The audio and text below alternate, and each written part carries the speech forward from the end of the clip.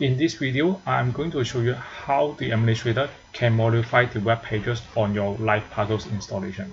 First, you log in as the administrator. Go to the page that you want to modify and click Edit.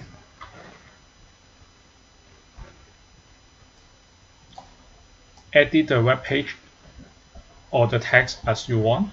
Using this, what you see is what you get editor. After that, you scroll down all the way to the bottom and click Save.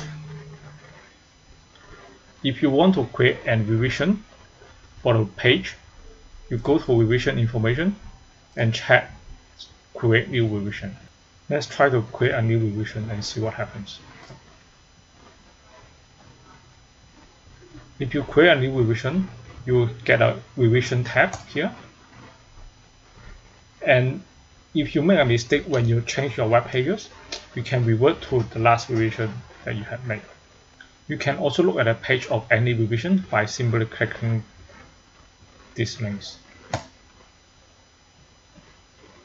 To add a new page to your website, all you need to do is click Add Content,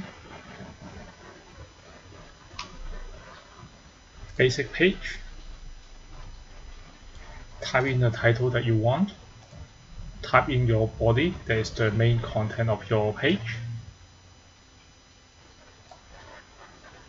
In the menu setting, if you want to put a link to access this page, enable it, type in the title for your link, description, and where you want the link to appear.